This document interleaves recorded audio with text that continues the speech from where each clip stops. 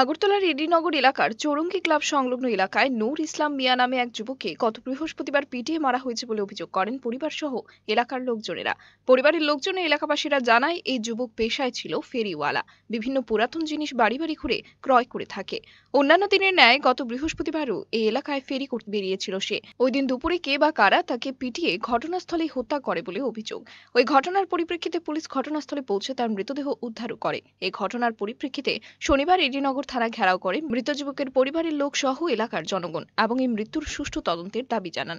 Police ঘটনার সুষ্ঠু তদন্তক্রমে অভিযুক্তদের বিরুদ্ধে ব্যবস্থা গ্রহণের আশ্বাস প্রদান করলে মৃত যুবকের পরিবারের লোকেরা এবং এলাকাবাসীরা থানায় অবরোধ কর্মসূচি থেকে সরে আসে বলে জানান সদর আরবান মাইনরিটি কমিটির ডিস্ট্রিক্ট প্রেসিডেন্ট ফৈজুর রহমান। তিনি এমনটাও বলেন, যেহেতু পুলিশ ঘটনার তদন্তের আশ্বাস দিয়েছে, সুতরাং আগে দেখা যাক পুলিশ কি ভূমিকা গ্রহণ করে। পরে পুলিশ ভূমিকা দেখে প্রয়োজনীয় ব্যবস্থা গ্রহণ করা হবে বলেও জানান তিনি।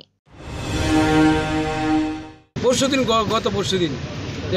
ফেরিওয়ালা তারে ডাকে নিয়ে মাইদুর করছে এমন শুনছি আমরা। আমি তো স্পটে ছিলাম না শুনছি তারা নিয়ে বাড়ি দিয়েছে রর্দা বাড়ি দিয়েছে তলপেড়ে বাড়ি দিয়েছে এখানে দাগ আছে বুকের মধ্যে। দুইটা বাড়ি স্পটে দেখা গেছে কে? ওই ছেলেটা। নাম কি? চিহ্নিত হয়েছে না। আচ্ছা নাম তার- কইছে। তারপরে? ইনভেস্টিগেশন চলছে থানাওয়ালা কই- কইছে যে আমরা দেখতাছি পুরোপুরি যারা প্রকৃত দোষী তাদেরকে অ্যারেস্ট করব। যারে মারধর করছে তার নামটা কি? এর নাম নুর ইসলাম। বাড়ি কোনখানে? কবে পাওয়া গেছিল ডেড বডিটা পরশু দিন। পুলিশ গেছিল ঘটনা খবর পাইয়া? পুলিশ গেছে। আচ্ছা এরপর আজকে আপনারা কেন আইছেন থানাতে? আজকে আইসে আমরা সঠিক তদন্ত কমে যে দোষী দোষীদেরকে অ্যারেস্ট করা হয়। এবং পুরোপুরি আশ্বাস দিচ্ছে থানাওয়ালা যে আমরা দেখব। আমরা তার থানাওয়ালার প্রতি বিশ্বস্ত আছে তাদের প্রতি আশ্বস্ত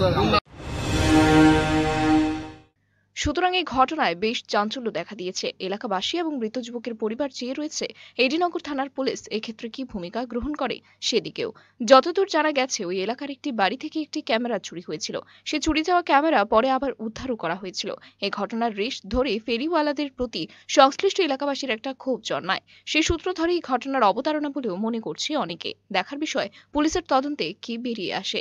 এ ঘটনায় এডিনগর পুলিশের ভূমিকা নিয়েও ক্ষোভ প্রকাশ করে এলাকাবাসী সহ পরিবারের লোকজনেরা। Bureau report, search India, TNN.